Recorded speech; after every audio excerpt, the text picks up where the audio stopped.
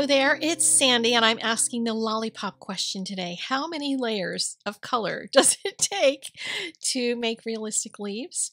I picked these up when I was on a walk with my dogs recently, and that day I spent the whole day coloring leaves. I traced them onto a piece of drawing paper, I just made a whole sheet of these, which I then used in a tiny tutorial as well that you might have seen.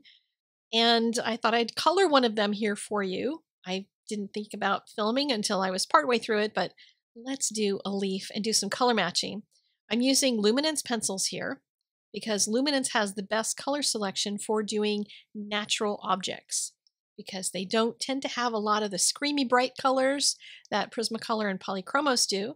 You have to do a lot to those colors to make them more neutralized.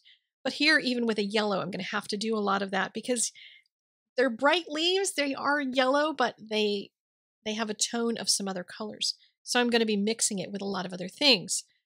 I used a little bit of Gamsol to blend the first layers of color together. So that's going to just give me a, a coat of yellow underneath everything made up of several yellows and then start adding layer after layer after layer. And no, I didn't count them. I didn't count the number of layers. I didn't count the number of colors, although they're still sitting here on my table. So I will put the swatches for them so that you can know the color numbers that I used. I'll put them over on my blog so you can check that out. But for now, I'm just going to be coloring layer after layer after layer, several layers of Gamsol in between. I wanted to mention a little bit about Gamsol. If you've watched a lot of my videos, you know that I've also used baby oil in place of Gamsol. On something like a leaf, you could definitely use baby oil because if there's any oily stain left behind, the color pencil will cover it. The baby oil becomes a little bit of a problem on some papers, and you have to test whatever paper you're using, comes a little bit of a problem because when you're trying to blend into white, the oiliness of the blending solution can stain the paper. So you want to be careful of that with whatever it is you use. I know there's some other people that have mentioned in comments recently that they use Zest-it, which is a third kind of blending solution. And that one is apparently completely odorless. excuse me.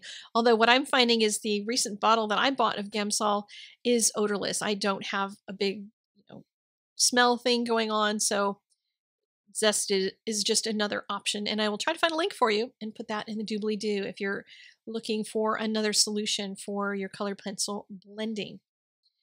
So I am using more and more colors to try to make this richer because the color that I'm seeing on my paper is not the same as the color on the leaf. It's more orangey, it's more dull. And I'm using a purple color. This is a desaturated purple, meaning it's very grayed out. It's not a bright purple. And if you've tried using a bright purple with your yellow pencils, you might find that you don't get a lot of nice blending in it. But with something like this, I can add a very light coat of it to make shadows. I can use it very lightly to make those veins and they come out looking much more natural than they would if I were strictly using a brown pencil, which is what a lot of people will go to when they're trying to do something like this. But when you use complementary colors, which is what purple and yellow would be for each other, you end up with a lot of natural desaturation because that's what complementary colors do when they're opposite on the color wheel. So I'm adding in more color because I want to keep making this deeper so that it matches that leaf and using a more desaturated kind of yellow color.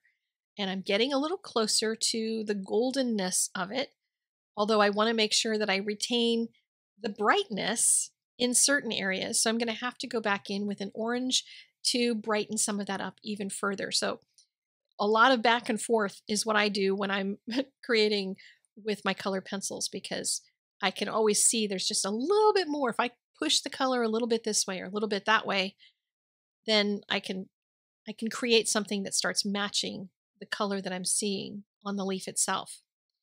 I started looking even closer, and when you really zoom in on a leaf, when you have it right in front of you, I saw green spots. There were little areas that had not changed to yellow yet. And so I started drawing in a few of those and adding in an overall tone of that greenish color very, very lightly to a few areas of the leaf, which started to darken it, along with that purple and then a little bit of a rusty kind of um, brownish orange color.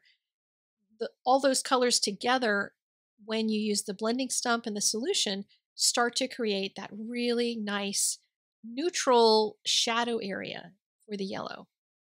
But of course, I had to add more to it because that's just how I roll and back and forth between all the colors. Now, while I'm still sitting here chatting, I want to let you know next week is the 24 Tags of Christmas, which is one of my most popular series every year. And it's probably going to be my last normal giveaway because I don't tend to have anybody answer my giveaways. They, they all enter and then nobody responds. I had some envelopes full of stamps and dies that I gave out recently, and I tried three times to post different names, and nobody replied. So I sent them to random people who I knew because of other things. I had their addresses because they're students, or I had addresses because they had sent me things in the mail and whatever. So, yeah, I'm going to start doing that more and not doing giveaways. But for the tags, I'm going to try it again. Most years, I end up with 16 to 18 of my tags still left in my possession to use on my Christmas gifts because nobody claims them. So if you enter to win, make sure to check back on my blog the week after for a couple of days, a couple of times to make sure that you don't miss the announcement when it comes out.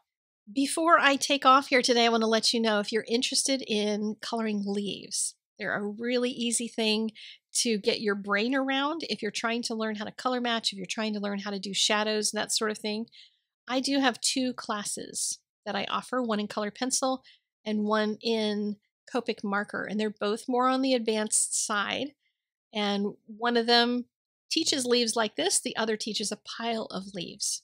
And both of them include the digis the printables for the other class. So the color pencil one shows you how to do the entire picture all together with all of the shading underneath of the leaves and that sort of thing.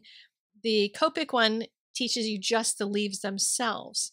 And both of these are taught on a toned paper. So it's kind of a fun, interesting way to approach leaves and have that toned paper to work off of. All right, that's it for me today. I hope you have a wonderful weekend. I will see you next week for the 24 tags of Christmas. Take care. Bye.